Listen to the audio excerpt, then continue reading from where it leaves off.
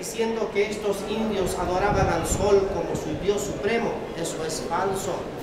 Porque ellos escribieron la historia de los incas de acuerdo a su conveniencia.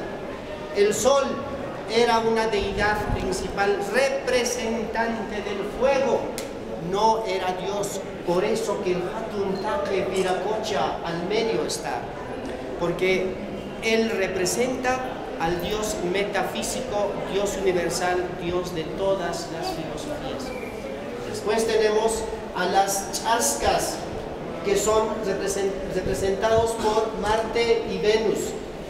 Curiosamente tenemos la Cruz del Sur al medio, que representa a la Chacana, esta constelación llamada Cruz del Sur, que de acuerdo a la mitología andina es esta, el, este el portón que utilizó el Dios universal para enviar el disco solar donde estaba escrita la filosofía a ser utilizada en esta parte particular del planeta.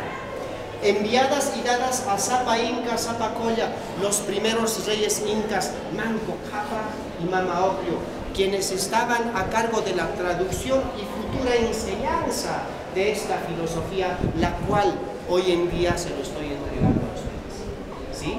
También tenemos la Pachamama Texemuyu, que significa Sagrada Circunferencia Madre Tierra. Tenemos al Puichi o arco iris. ¿no? Tenemos Illapa, el rayo, representación del sagrado matrimonio. Los océanos, jochas, las lagunas, jochas conectadas por los mayos o los ríos. Reino vegetal, reino animal. La base económica para toda evolución en una sociedad es la colca o los depósitos de alimentos, ¿sí?